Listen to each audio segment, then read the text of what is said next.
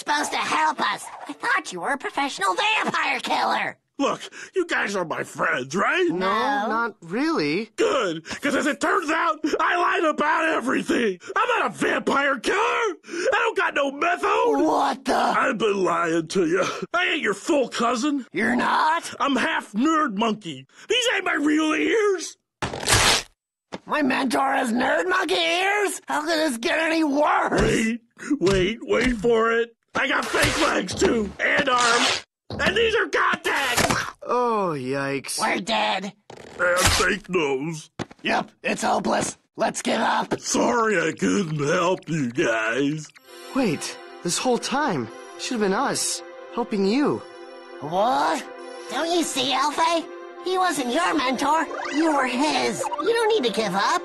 You were the awesome one all along. What was I thinking? I am awesome. Yes, that's the Alfe we love. Tell us what to do. Cool. Well, if vampires can be killed by the stuff they avoid, like sunlight, then glam vampires can be killed by the stuff they avoid, like rat beats.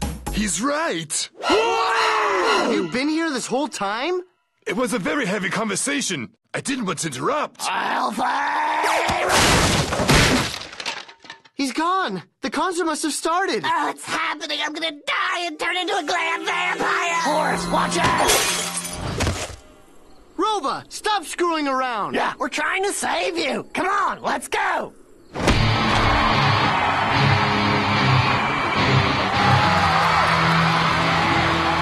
Thank you, Farboro. Now, are you ready to die and live forever?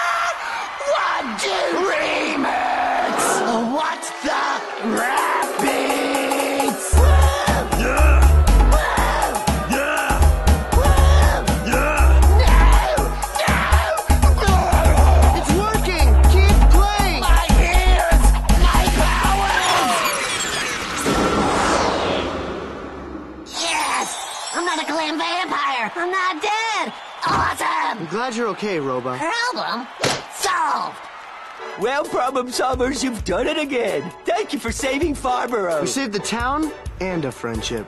Sorry I was a liar. I'll teach you how to be honest. Horace, we're gonna go throw jelly donuts at a helicopter. Bye! No, wait! Another exciting case solved by the Problem Solverz.